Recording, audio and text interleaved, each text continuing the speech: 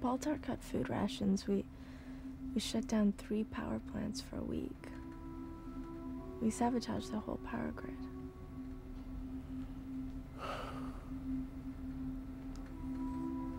Baltar was a thug and a dictator.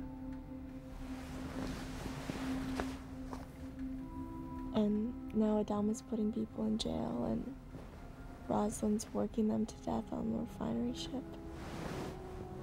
Oh, sounds like a thug and a dictator to me.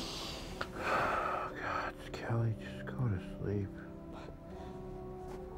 What do you want me to say? You don't want to admit it, but the truth is, Baltar's onto something. There's a ruling class with the perks and the power. And there's an underclass with the grunt work and the suffering. Mm-hmm.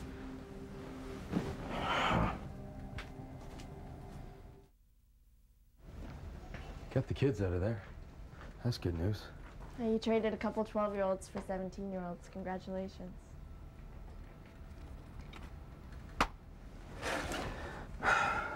Doing the best I can. I know, Galen. But did you notice that the pool of workers were all from four colonies? Don't start with the Baltar crap again.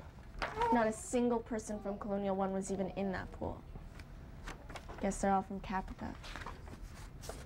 Yeah, well, the last thing we need is a bunch of bureaucrats over there trying to figure out how to run a fuel refinery. We need people with specific skill sets. Half my job is pushing around a broom and a mop or carrying a hose and cleaning gear. What, what type of skill set does that take? Look, Cally, if I push too hard right now, they're going to pull me off. Then you're going to have Tigh over there on the Hitei Kan cracking the whip. You want that? I don't want that. I just don't want you to become some sort of strike breaker. Yeah, well, the union is gone. We're back here now. We're in uniform. It's different. You know, there are places like this all over the fleet. Somebody has to stand up for them. But somebody used to be here.